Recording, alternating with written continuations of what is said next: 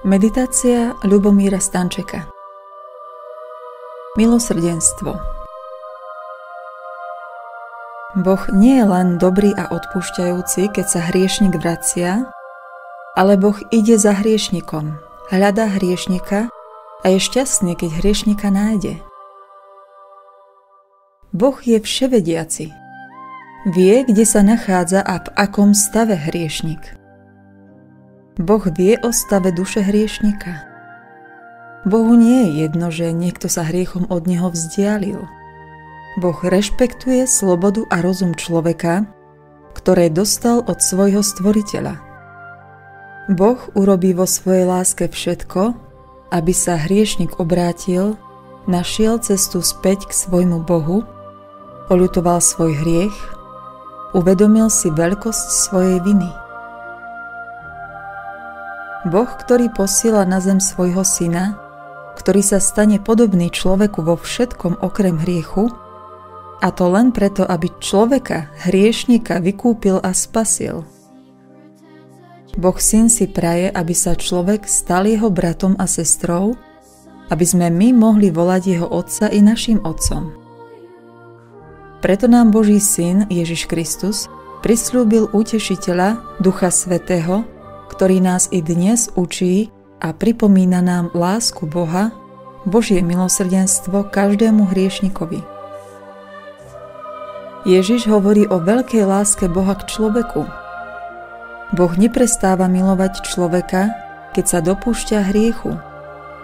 Boh je ochotný odpustiť, je milosrdný voči každému hriešnikovi, ktorý si úprimne povie, že sa vráti späť k Otcovi. Ježiš Kristus zomrel za nás všetkých. Za naše hriechy, chyby, slabosti, omily a pády. Milosrdenstvo obohacuje človeka a veľkí ľudia sú zástancami a realizátormi lásky skrze milosrdenstvo. Pán Ježiš hovorí, radosť majú Boží anieli z jedného hriešnika, ktorý robí pokánie –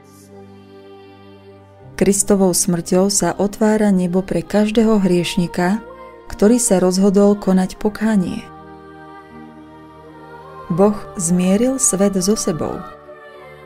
Preto do neba môžu prísť smilníci, bludári, zlodeji, vrahovia, keď opustia cestu hriechu a nastúpia na cestu dobrovoľného pokánia, keď si uvedomia, že Ježiš ich miluje a z lásky k ním, keď boli oni hriešni, zomrel na kríži.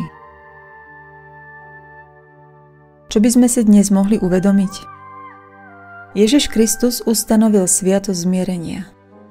Dal moc odpúšťať hriechy nielen Petrovi a Apoštolom, ale každému kňazovi, ktorému túto moc cez biskupa dáva cirkev.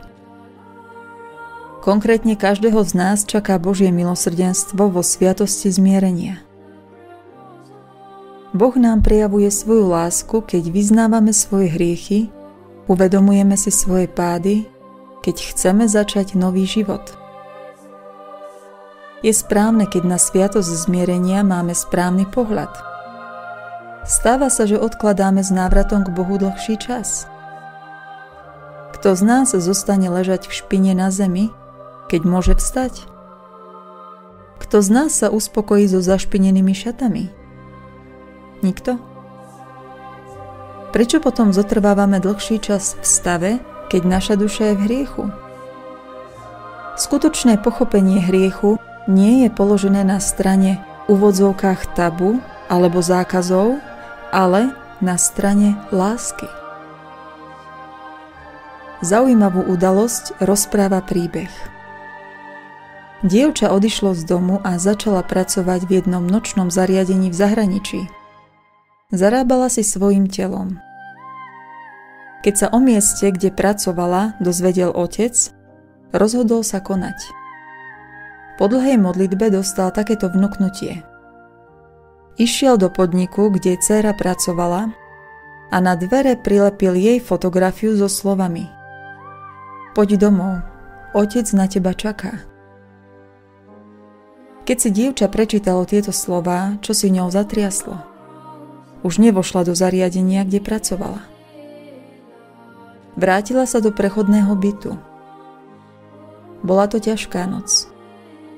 Bol to tvrdý boj. Vrátila sa domov. Boh nás neprestáva milovať.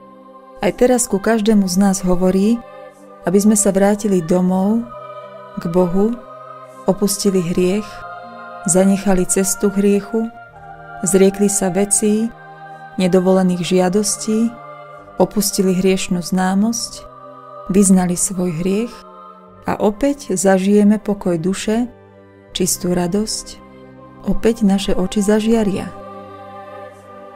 Vieme, že Boh nám pomáha zvíťaziť nad hriechom. Dobrovoľné správanie hriešníka, ktorý odpovedá na Božie milosrdenstvo, je ponúknutá príležitosť hriešnikovi. Boh, ktorý nás miluje, očakáva naše prijatie Jeho lásky – Uvedomujeme si, že Božie milosrdenstvo je dar, ktorý nám dáva Boh. Boh je milosrdný. Modlíme sa k milosrdnému Bohu, aby sme vedeli a dokázali odpovedať vždy na Jeho lásku. Amen.